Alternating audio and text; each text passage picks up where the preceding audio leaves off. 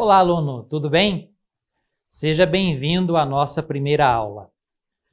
Eu sou o professor Pedro e nesta aula vamos falar da visão geral sobre o objetivo da administração financeira empresarial. Para que a gente possa iniciar as discussões relacionadas à estrutura e análise das demonstrações contábeis, é importante, primeiro, conhecer os fundamentos básicos das finanças empresariais.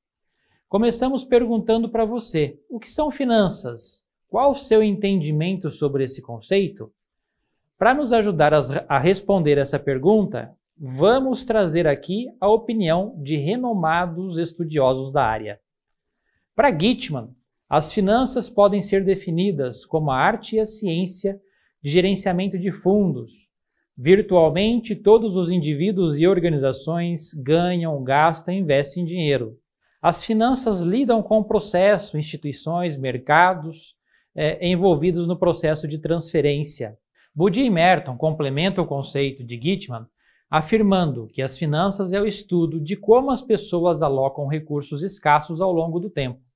As duas características que distinguem as decisões financeiras de outras decisões, que são custos e benefícios dessas decisões, são a distribuição ao longo do tempo e o fato de geralmente serem desconhecidas de antemão, ou por quem vai tomar a decisão, ou por qualquer outra pessoa. Ou seja, se a gente pudesse integrar esses dois conceitos, poderíamos dizer que finanças é o estudo da alocação de recursos que são escassos ao longo do tempo.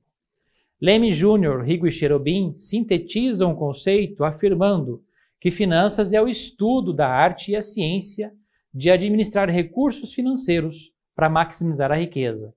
Se finanças segue essa consideração, Damodaran enfatiza que o objetivo das finanças aplicado às empresas é maximizar o seu valor.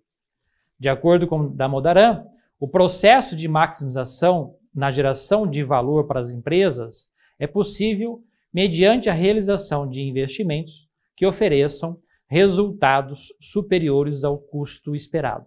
Para que isso aconteça, é imperativo escolher uma estrutura de capital que possibilite a maximização do valor da empresa e case com os ativos financiados.